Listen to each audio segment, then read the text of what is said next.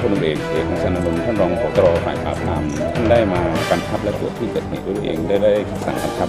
ให้ทางภูธรจังหวัดนนทบุรีเร่งรัดในการสืบสวนติดตามจับกลุ่มคนร้าย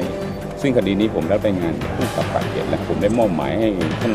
พลเอกนัทพลสุวสรรองฝ่ายสืบสวนเนี่ยทำการควบคุมในการสืบสวนและมอบหมายให้พลเอกนรงฤทธิ์พักดีนรงค์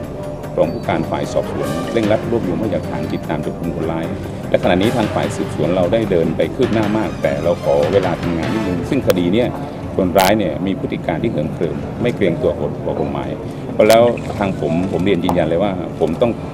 ไล่ล่าแน่นอนและให้ถึงที่สุด แล้วก็บอกเลยว่าคนร้ายรายนี้มีอาวุธปืน ผมได้กำชับผู้ตั้งชาของคนว่าหาก มีการเข้าทำการตรวจสอบหรือเจอถ้ามีการต่อสู้เราเราต้องป้องกันตัวเองใช้มาตรการเด็ดขาดแล้วผมเรียนยืนยันว่าเราจะ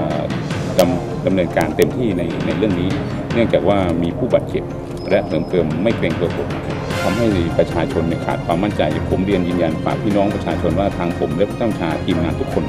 จะทำงานทุ่มเททำงานหนักในคดีนี้ และจะพยายามปิดคดีนี้ให้เร็วที่สุด และจะวางมาตรการ อมาตรการป้องกันเพิ่มความเข้มขันนี้ ผมได้สั่งฝ่ายป้องกันและปราบปราม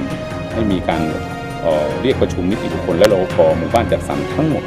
ทำประวัติรปภทั้งหมด แล้วมีการติดตั้งตู้แดงเพิ่มความเข้มในการตรวจและเพิ่มความถี่ในการตรวจตรงนี้ขอขอเวลาตำรวจเราทำงานนิดหนึ่งถ้าผมจะดำเนินการและขับเคลื่อนเต็มที่